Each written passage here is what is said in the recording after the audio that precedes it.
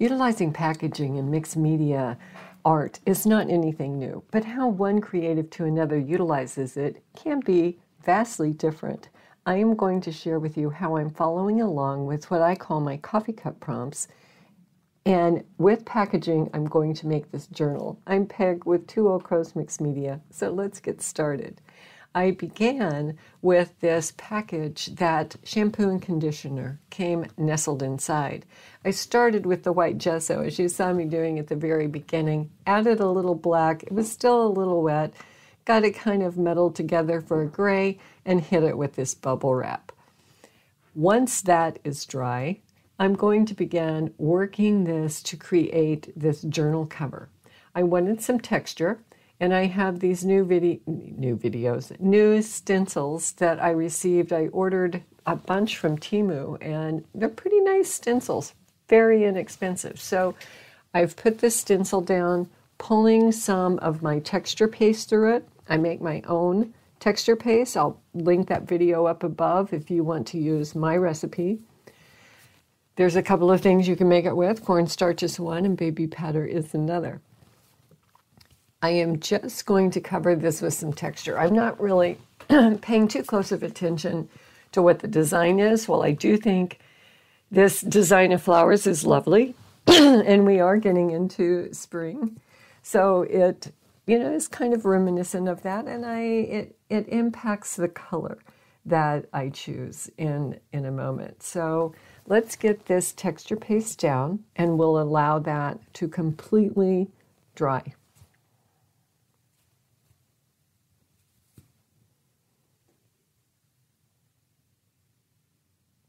Now, once dry, I have some fine sandpaper that I will be just running over the top of this texture. And I do that for a couple of reasons. I do it, one, to knock down all of the edges off of it. And the second reason, I want just that lightly smooth texture in the background where you think there might be some texture, but you're not exactly sure. So I'm looking for that very subtle texture on this cover. Now, once I have that all sanded down and all of the um, dust from that texture paste brushed off, I have pulled in some yellow ochre and I am just going to spread that throughout this texture on with this card. Uh, it's an old hotel key card. And I have an abundance of those because I travel quite a bit with my job. So wherever they put me up, I, I I keep the card. And once I have this coated, I'm going to allow that to dry fully. I might push it forward a little bit with my old hair dryer, but we'll see. Once dry, I will once again sand over it and scruff up some of that yellow ochre. I'm just wanting this for, for a background. Now that I have the first layer of color down, I'm going to go ahead and trim it. And I've decided to use my Fiskars cutting tool to make sure that I have a nice clean edge and this is thin enough and small enough to fit within the confines of what I have. And now that that is all trimmed down, into the size of the book. I have my front cover, my back cover, and my spine cut out of that piece of shampoo packaging. I want to add a little more springy depth. I have this yellow tissue paper, once again, packaging that came in a gift that was uh, delivered to, to me. So I have the tissue paper that I saved out of that gift bag. So it's just your basic gift packaging tissue paper.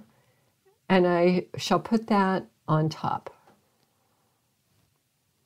And I tore a little hole there, so it's going to be very easy for me to tuck that in and secure that on the back. I think you can see, there you go. you can see that little hole. And I'm just going to fold these over and make my little oval have a nice, clean finish there on the inside. I'll hit that with a little extra glue. That video that I linked for you previously for the texture paste also has the recipe for the glue and water mixture or the ratios for the homemade Mod Podge, if you will. So now to spring it up quite a bit, I'm going to utilize this lime green color. And if you follow me, you know that these bright colors are, are really not within the realm that I use very often, but I am trying to brighten up some of my projects and get some additional color into them. I, I lean towards the grungy. And, you know, we kind of started out grungy, but we're going to brighten it up a little bit.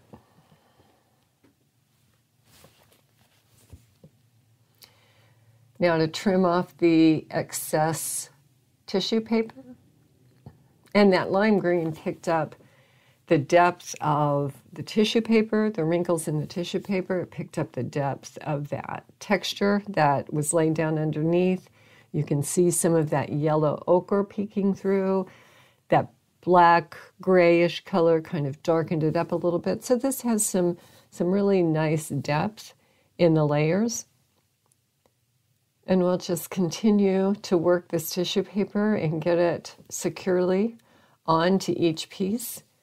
And now, once finalized, we have our covers pretty much ready to roll. So there's the front cover with the oval, the back cover.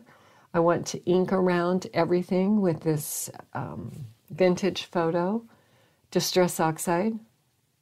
And I've also just taken that sponge and lightly put that Distress Oxide on the outside covers just to pull that texture out a little bit more. So I'm pretty happy with the way this is looking. And now I have some old scrap paper. I have a bunch of scrapbooking paper that I've never really utilized. And I thought this wouldn't be a bad time to get some out and utilize it for my inside front cover and my inside back. So I've just trimmed it down to the appropriate size, rounded off the corners, inked around it, and now shall put it into place. And I think that makes a nice, a nice little inside piece.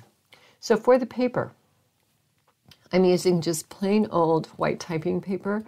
I have um, wet each piece so when I spray on the Distress Oxide, it doesn't just glop on, it flows very freely.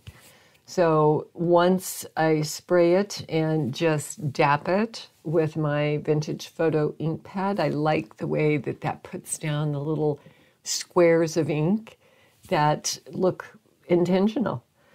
And I will dry it with my hair dryer to get the paper nice and dry. Now, there's two things that you could do with this after it's dry. You could press it with a dry steam iron to make sure that every piece is just perfectly pressed and no wrinkles.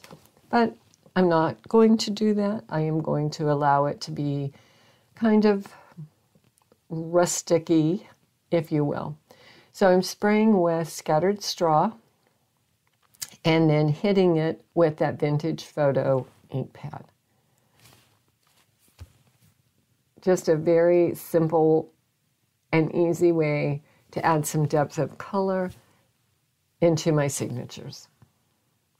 And I'm also going to come back and use a mowed lawn as well. So I have two, well, we'll go over that in a bit. Now we need to decide what we're going to have peek through that front cover. And I have been eco dyeing because these little blue violets are coming up free range in my yard. And I like to utilize them because they produce such great color.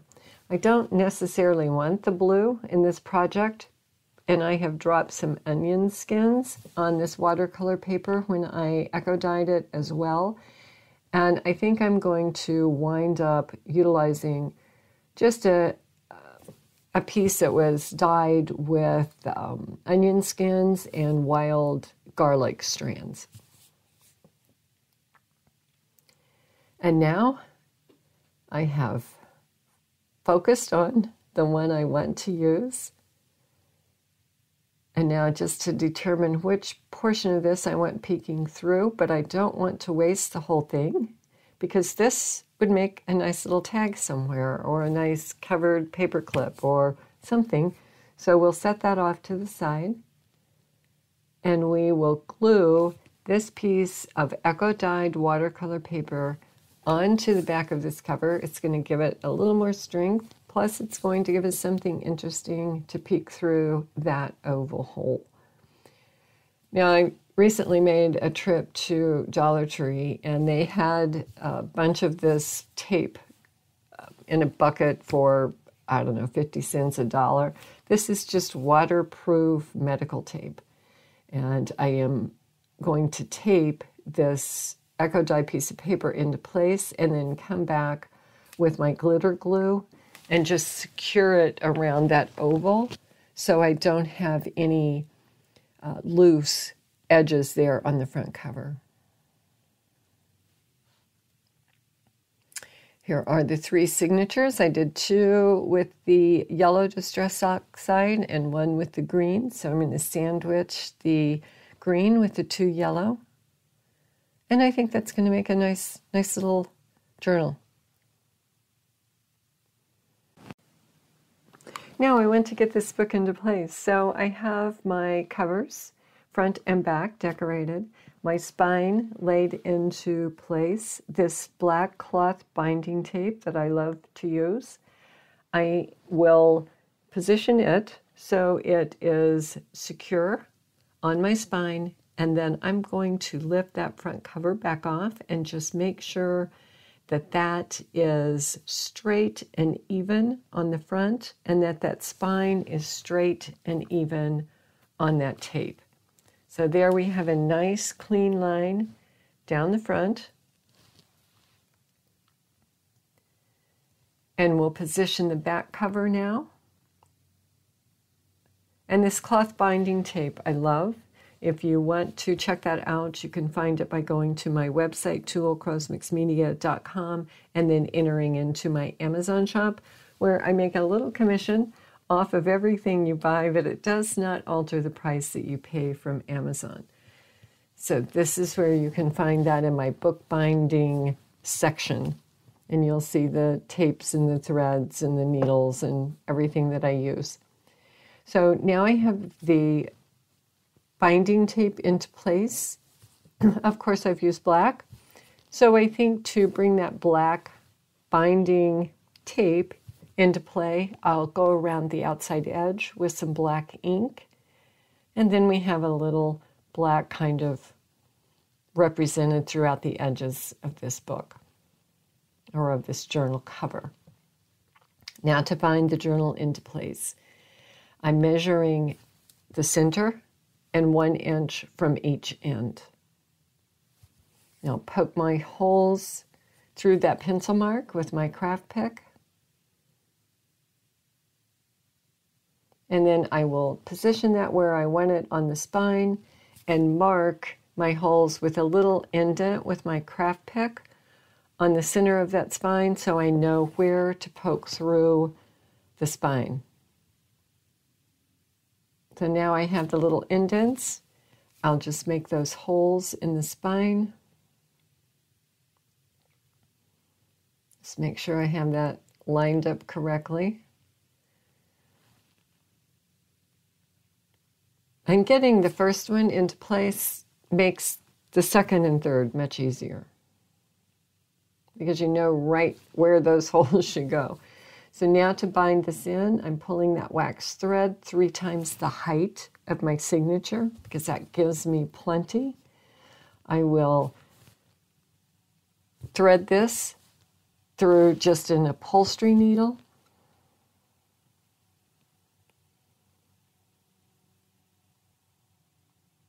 We'll go through that center hole first and through the spine center hole.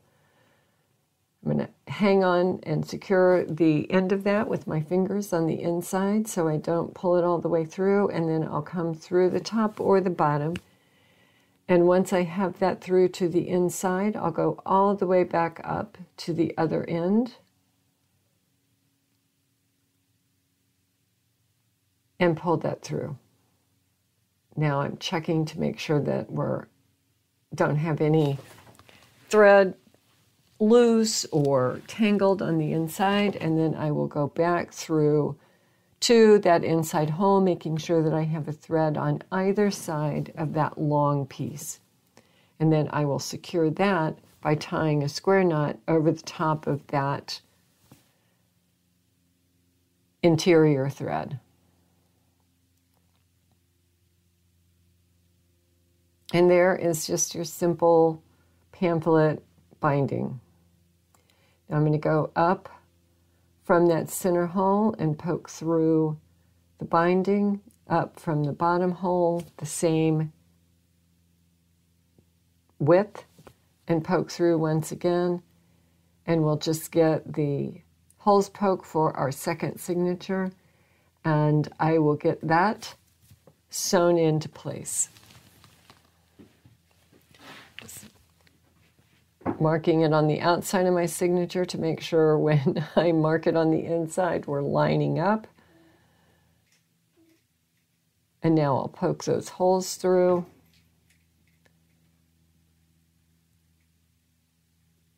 And we'll thread the needle up once again and we'll do the second, second signature and then we will sew the third one in and we will have a completed book.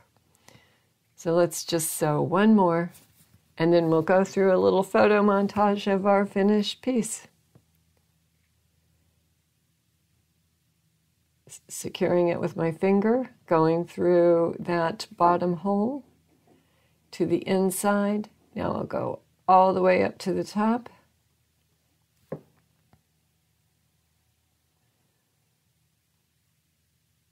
And then we'll come back through that center hole.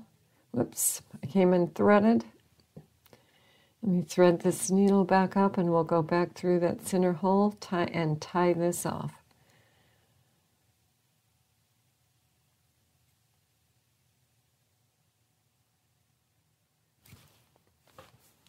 This would probably be a good time for me to ask you to hit that like button. It does help my channel, and of course, I would love to have you subscribe.